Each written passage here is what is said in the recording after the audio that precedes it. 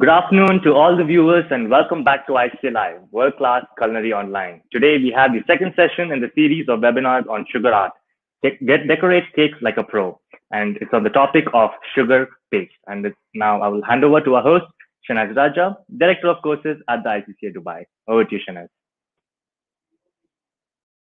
Thank you, Karun. Indeed, we are back once again with Master Sugar Crafter Nasreen Danki who will demonstrate different rolled sugar skills for us today. Nasreen's tryst with sugar craft began with having to craft a christening cake for her daughter 25 years ago, an art that she has mastered and now enjoys teaching other people. During our last webinar with Nasreen, the main camera disconnected itself and we had no time to fix it. So we used a laptop for her, which did not capture the details of the techniques that she was demonstrating.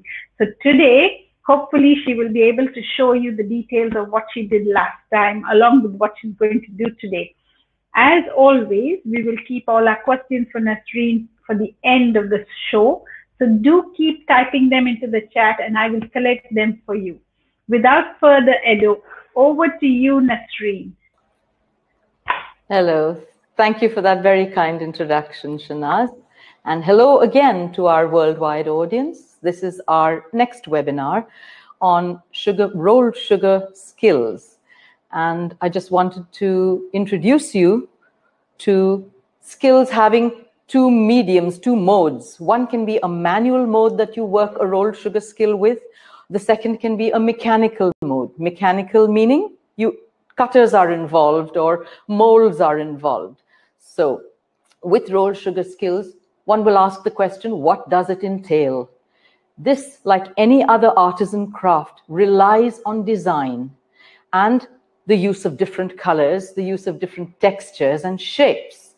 And hopefully I'm going to introduce you and show you a bit of a little bit of everything today. What I showed you last week and what Shanaz just referred to was just fondant covering, where we covered the cake with fondant and we used crimping, um, a texturing uh, design, surface texturing designs, or embossing, and I've lustered it a bit so that it gives you a little bit of uh, higher visibility. Now, I've put this in place for today, but last week I showed you inlay design.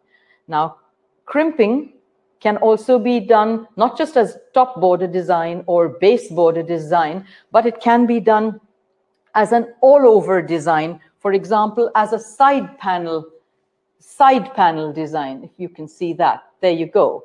So just a little twist. This is something I also made with a crimper. It's a little crimped flower. So just to bring you up to speed with what perhaps the camera did not catch last week, that is what we did, and I'm going to build on it further from there. So last week we covered with fondant, and fondant is our primary medium for covering a cake. It creates the surface to then be able to decorate it. So with that, I'm going to show you a few decorating skills. And what is the importance of learning to decorate? It's because you may know how to bake well, that's the yum factor. But when you know how to decorate well, that's the wow factor. And that's a marriage made in heaven. So to be able to decorate, you create a theme for a cake. For children's birthday cakes, especially where they may want a Disney theme or they may want a um, race car theme, or if you're entering cake in competition like we did, where we had to do a Game of Thrones theme. So decorating, learning how to decorate not only gives your cake a theme, it makes your cake occasion specific, and it gives it, it personalizes the cake for whoever is receiving it. For example, if it's a, a Valentine's cake, will have a different set of decorating to it compared to a Halloween cake, for example. A silver wedding anniversary will have a different theme to it than a children's birthday cake, for example. So that's one very important reason to learn to decorate. It gives your cake a theme, it makes it occasion specific. And also, when you learn how to decorate, you give yourself the professional edge. You know, it, it gives you confidence to start your own business. It gives you, it augments your earning capacity. If you're already an industry professional, it just gives you the cutting edge um, above what the, what's commercially acceptable in the market. It gives you that professional edge. And to gain that professional edge, proper training and guidance, and of course, practicing what you've learned gives you progress and mastery in this particular skill set. So I'm going to demo for you now, this being the rolled sugar skills. I'm going to demo for you um, how rolling can give you different effects. Can you see this little rose? She's rolled. But so is this little one. It's rose, it's rolled, but look how different it looks. Now, when a tailor for couture is making cloth or satin roses, again, that's rolled. But can you see the difference between all three? And that's what I'm going to try and demonstrate for you. So, without much ado, let me start the demo. Sugar being, all sugars air dry, so I always keep them bagged to prevent them from drying out and they still remain workable. Now before this, so I'm just going to wake this sugar up, what I call waking it up. It's softening it, getting it ready to roll out. It's just like you would warm up a muscle before you exercised, and then you can get a good stretch or whatever. The same thing with the malleability of sugar. So rolled sugar, I'm going to do this one first for you. This rolled, it's called a ribbon rose and it relies entirely on your rolling skill. For example, I'm going to roll, and as I roll, I'm maintaining a straight line on one end on the entire left-hand side edge, but I'm also maintaining the same thickness that will enable me to give you or show you how this rolled rose is made. So here we go. That's a strip, and I've tried as best as the roller and my skill would permit to give you a straight line, the same thickness.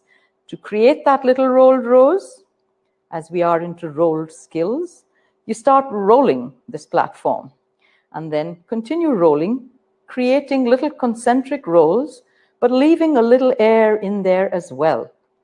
So I will, it's, it's wet. I will demo that for you in a minute. So you reach whatever size it is you want when you roll. Could be a smaller roll, could be a bigger roll.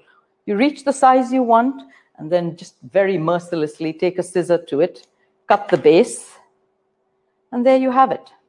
Can you see that little rolled rose to add to the first one? Now, just for today, I've made you already a little plaque showing you how this plaque can be applied to a cake. You could either use it as a side design. Have I got that level? Here you go. Side design or a topper design, or when you learn how to roll the next rose that I'm going to show you, you can decorate an entire cake with it. So I've, I've used these rolled roses as little joiner points. What is a joiner point? It camouflages where one bit of sugar joins into another bit of sugar and of course, there are little hand-done leaves, rolled roses. So these are the ribbon roses that I just showed you. Now the next demo is going to be, the little rose in the middle here actually is this little rolled rose. But where this was entirely manually rolled, this is going to be cutter assisted. So I'm going to use the same sugar I did, and my cutter is right here too. Okay, good. So there you have it. And once again, I'm just going to set that in there, get it out of my way. This next one, that's the length of your cutter. So you do have to then get your sugar to match that length so that it accommodates the cutter and we can then move on with the making of the flower. So here you are. I'm not going to go too thin, there. And does it accommodate my cutter? Yes, it does. Press on the cutting edges, and she cuts out clean for you. Lift. Take away what you do not need. And the cutter leaves you with what you do need. So there you are. Take your sugar out of your cutter. Now, there is something, I'm, I'm just going to dust this so that she's non-stick. And then put it onto what is known as a petal pad. It's softer, it's got give compared to my rolling board that has no give, it's hard. And when I put it on this board, I use the ball tool to process those edges, give me a little movement, and make them more petal-like. So this is the quick rolled rose. It's not the classic rose that you would learn in the flower making module, which is our next webinar for you. So if I quickly go around these edges, making them more petal-like with this ball tool, I can then proceed to process this rose.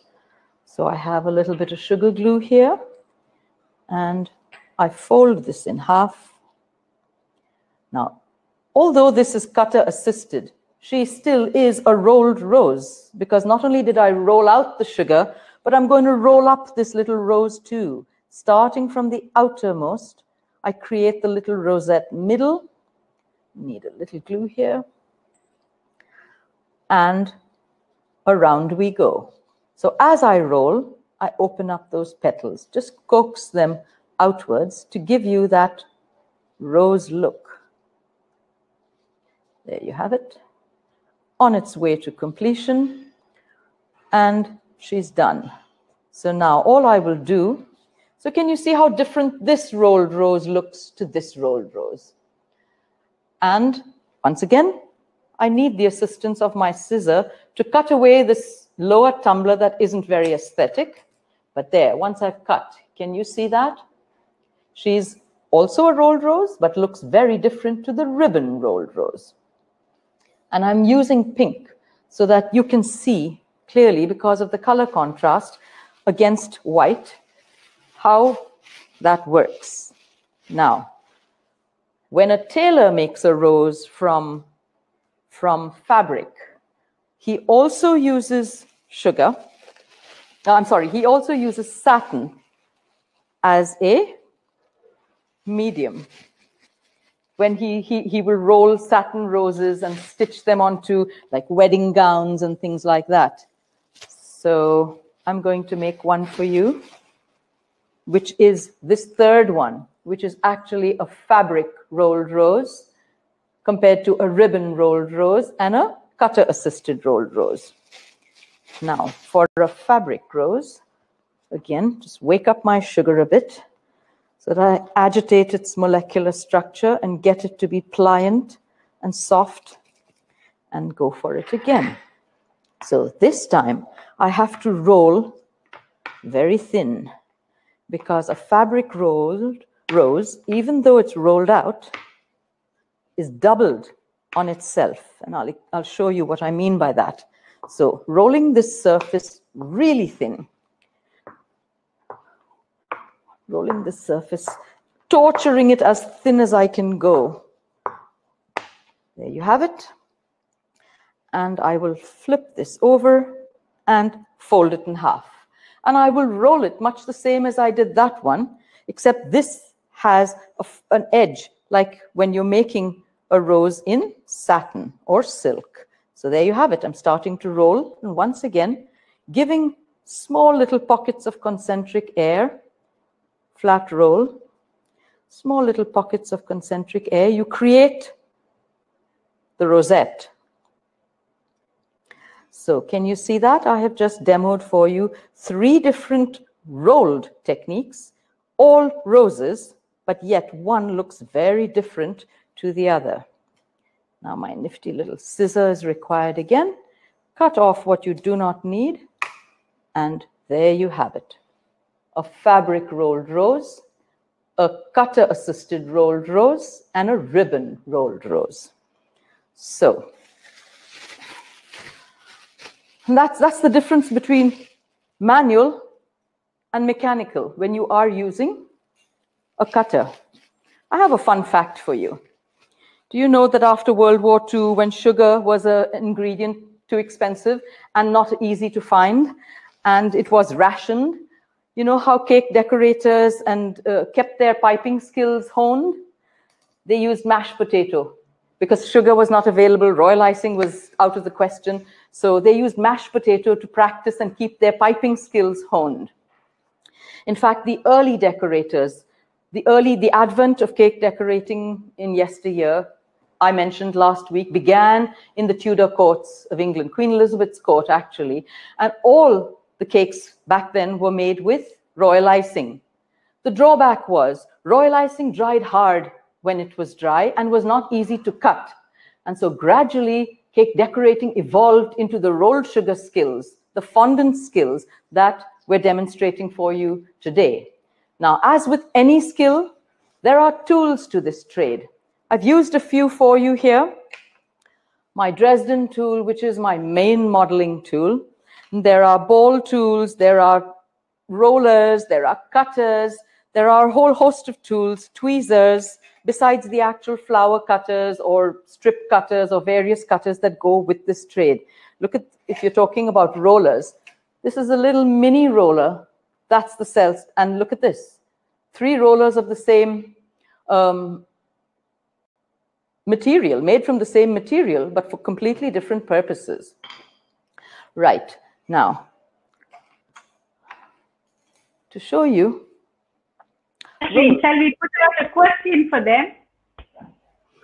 Shall we put out a question for them? Sure. Let me see if you've been listening and let's Yes. go with, with a question for the audience. Uh, so, which starch is best to use for dusting when rolling sugar paste? Now, you didn't give out the answer, so it will be really nice to see what they have to say. Okay, majority say cornstarch, a few say icing sugar, and even fewer say potato starch. Oh, goodness. I'd like to clear that ambiguity straight away.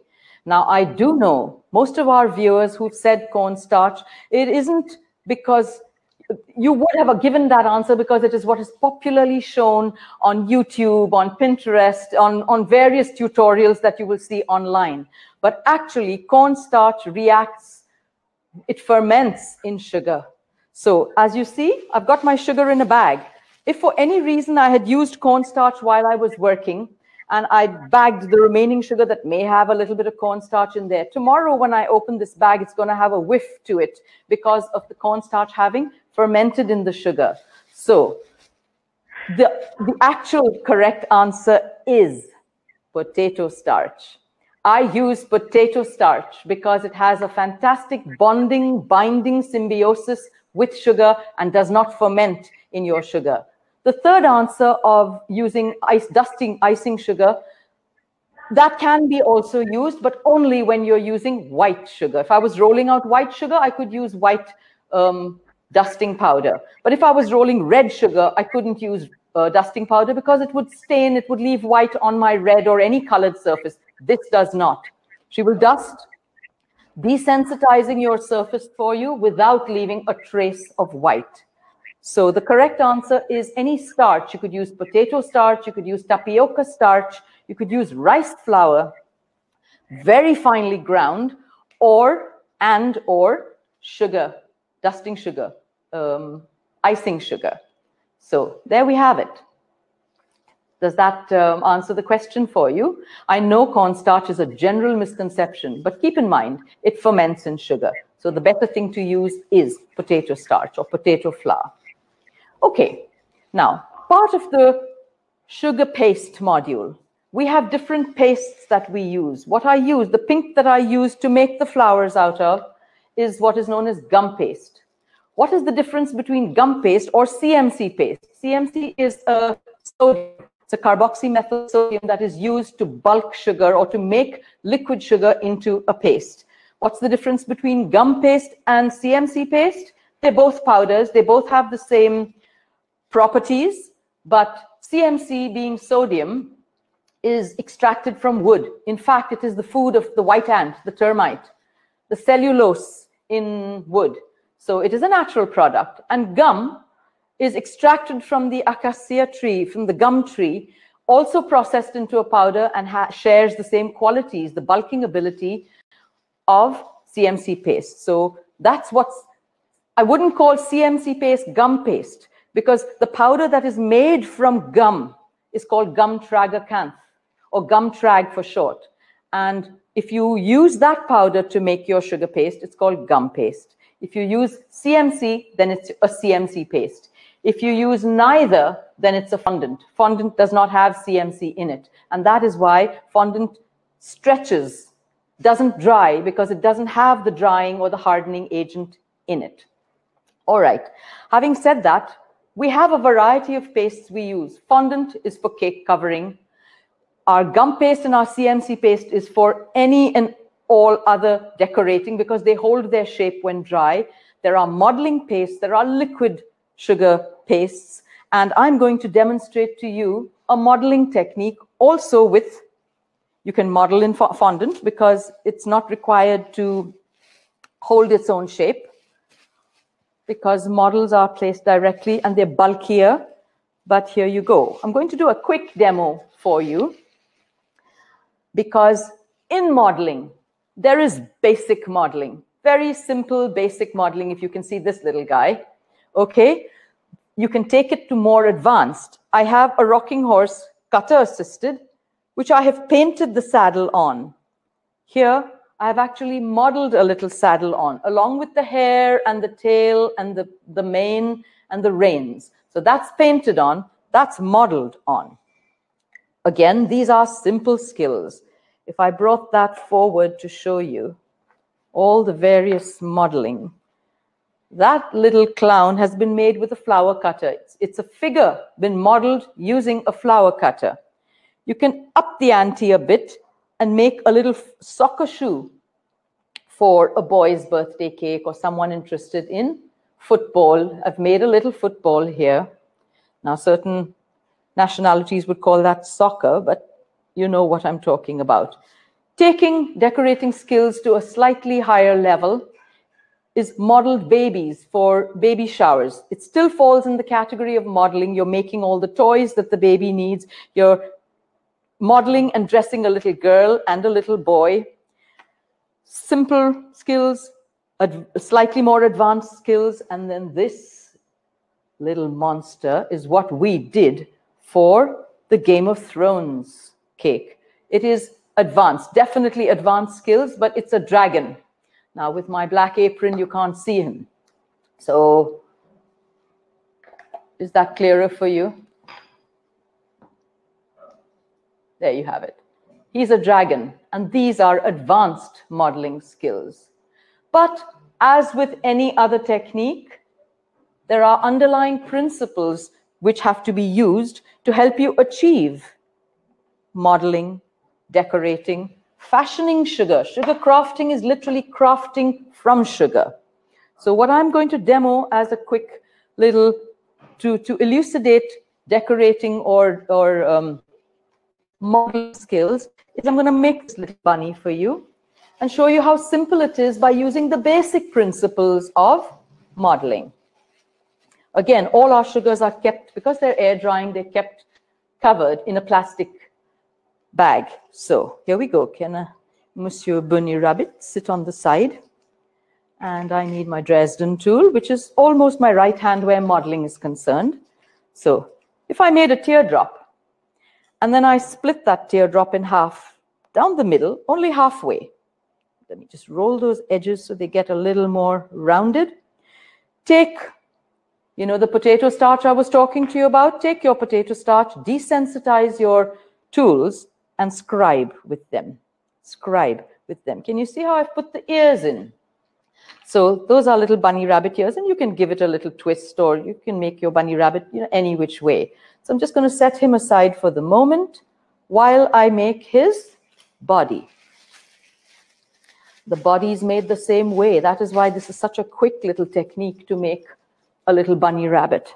So the same thing, roll your, the sugar into a crack-free ball, roll it into a teardrop, slice or splice that teardrop just in the front a little bit, splay them apart, and then you can put in little toes or little features that the bunny might have. Now, two parts. I have my bunny's head and the body. Let me attach to the rear of the body a little tail for this bunny. So again, I would roll it into a crack-free ball and attach it to the back of him.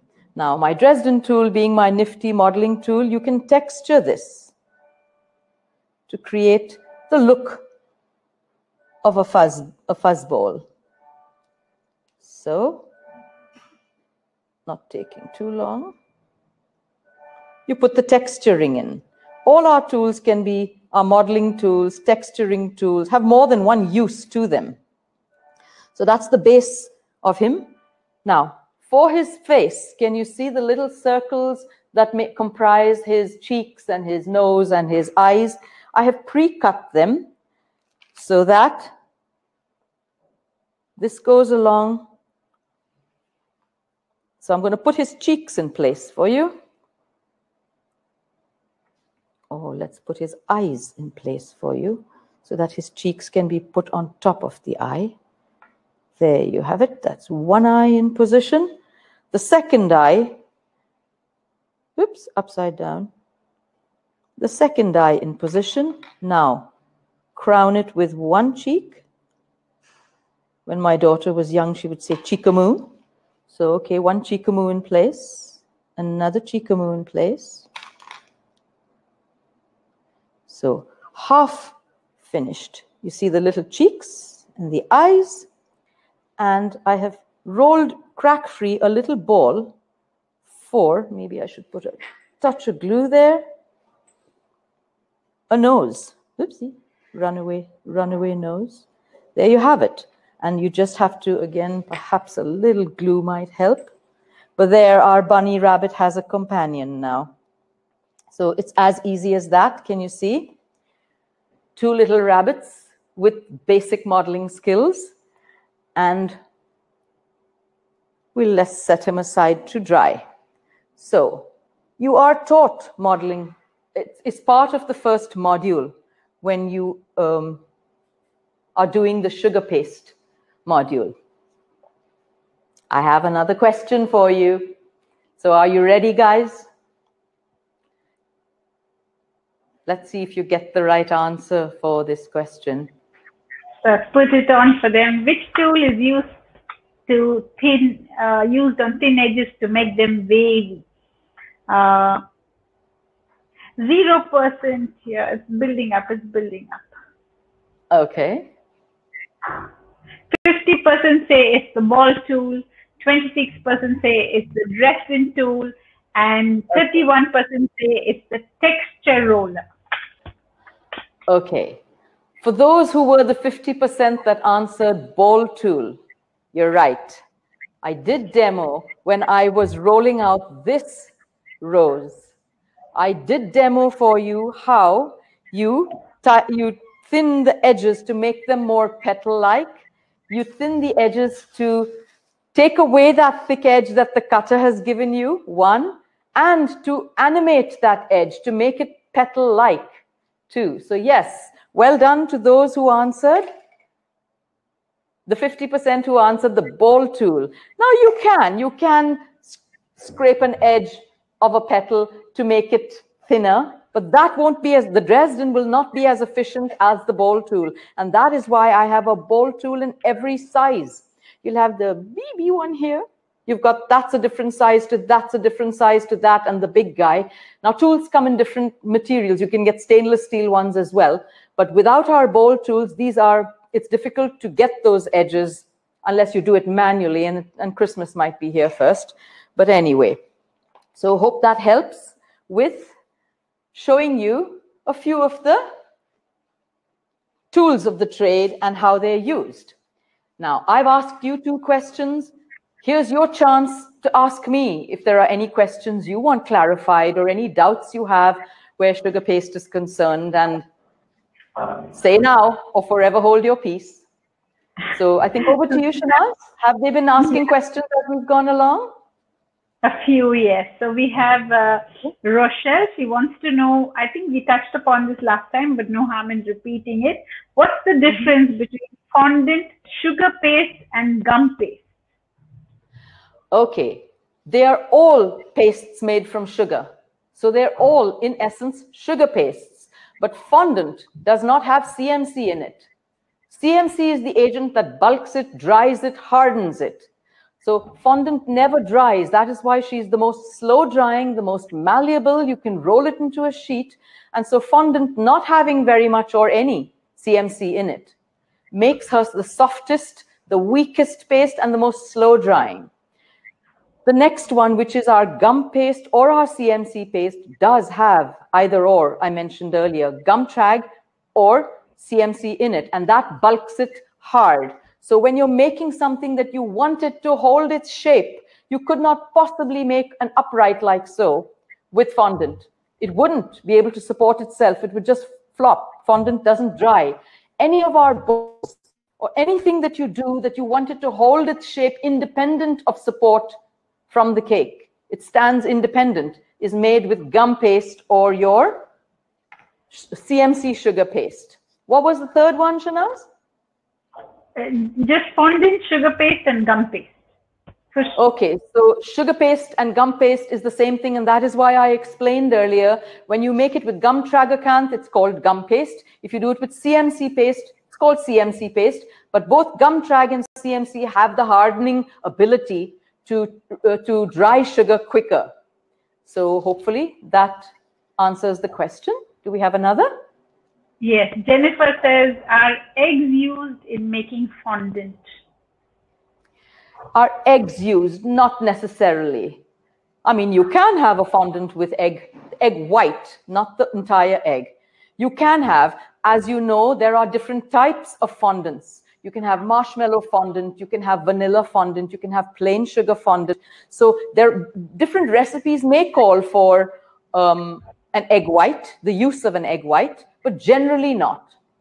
It's you, you have other ingredients that retard the drying process, which could be liquid glucose, which could be glycerine, sugar paste, water even, or and egg white.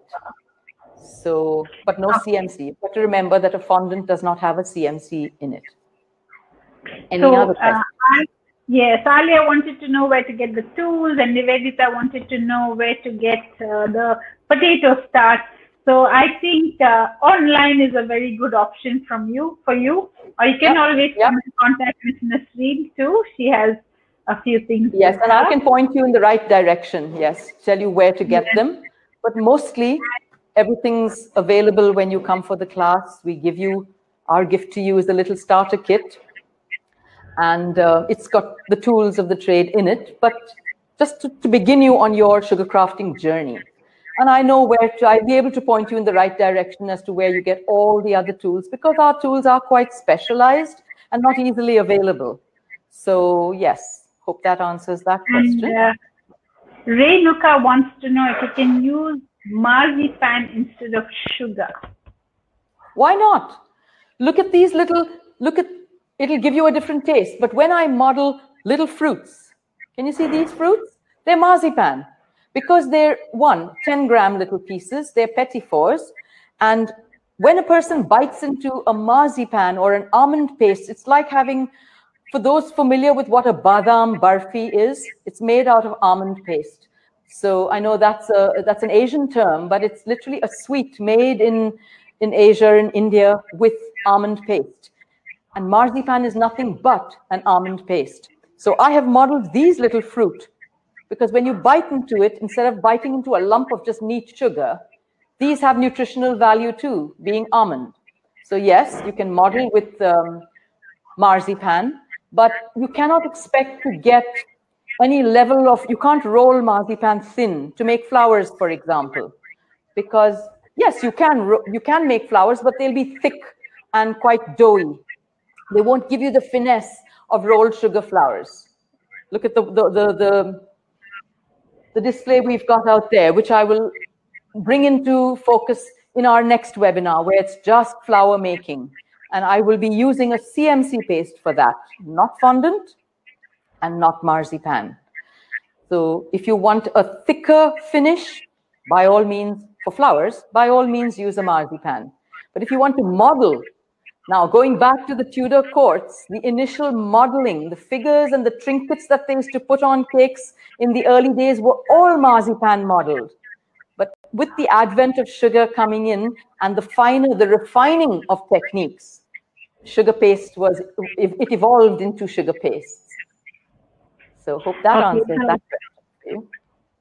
Can water be used to uh, stick sugar paste and fondant? You know, you use the glue. There are, yes. Yeah. Water is the weakest glue.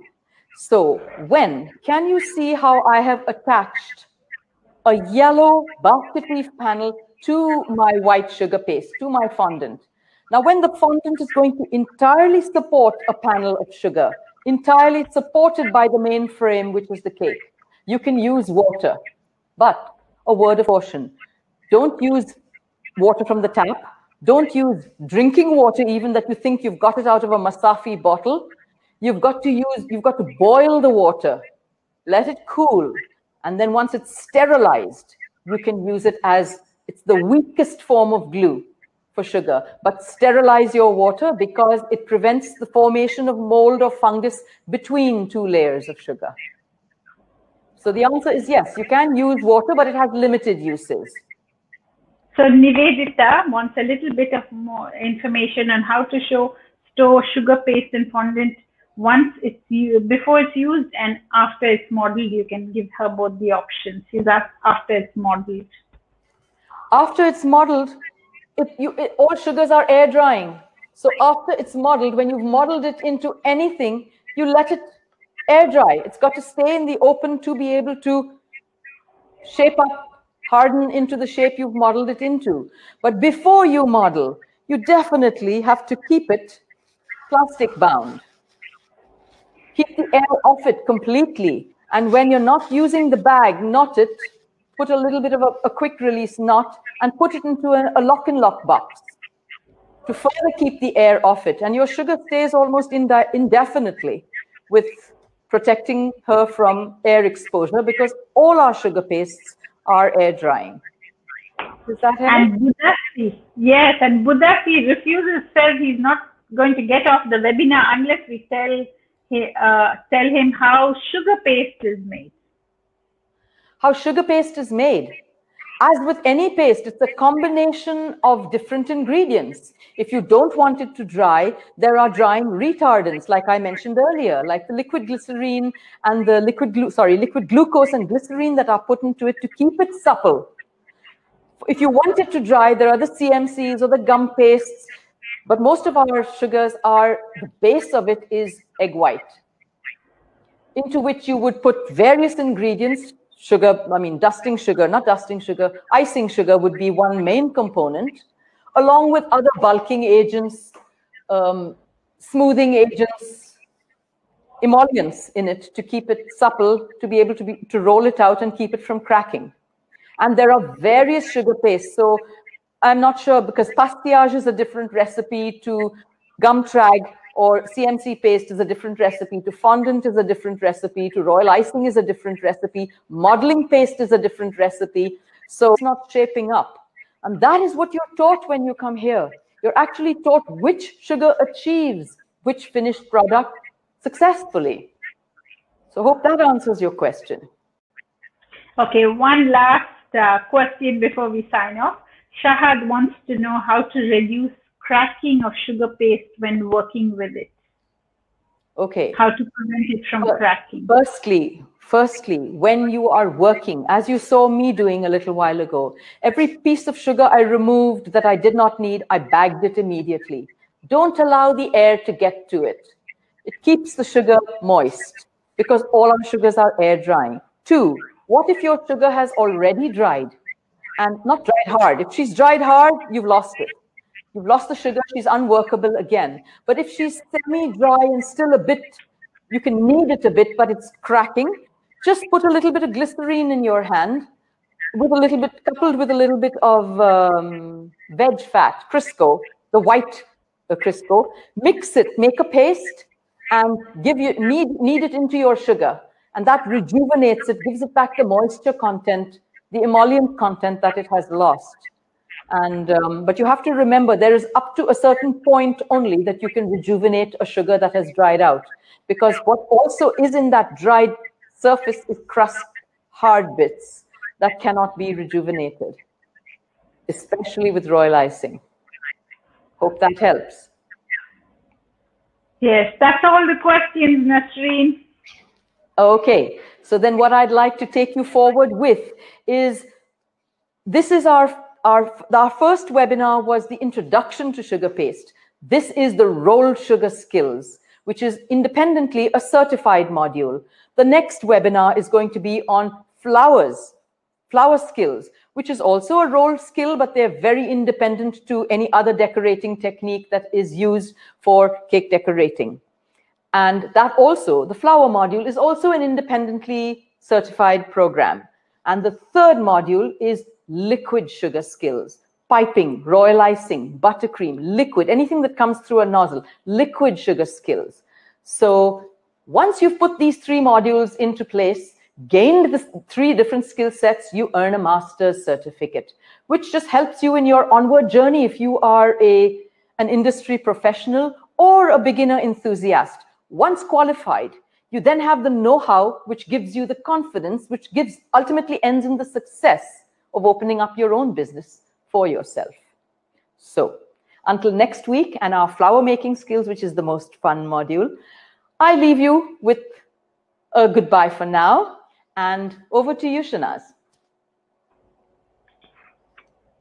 Thank you, Nasreen. Those of those were some very useful and easy techniques you taught us. But believe me, everybody, it's not as easy as Nasreen makes it look. It needs a lot of practice to get there. About this particular webinar, there are no handouts to share as it is a technical skill that has been demonstrated. So you can watch the replay if you need to follow the technique shown. And uh, if and if you need to learn more, you know where to find us. And I can assure you that it is the best investment you can make into yourself. Thank you, thank you everyone, and see you again with Nasreen next week, same time, same place, same day. Until then, thank you and bye bye.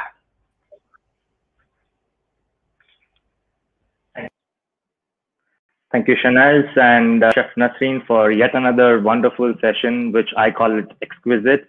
Uh, those minute details showcased today were just indeed wow. And for those who missed out on the complete live action, an email will soon follow with a replay video of this webinar.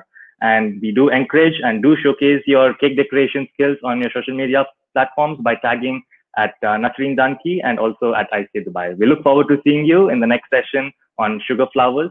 until then, goodbye from all of us here.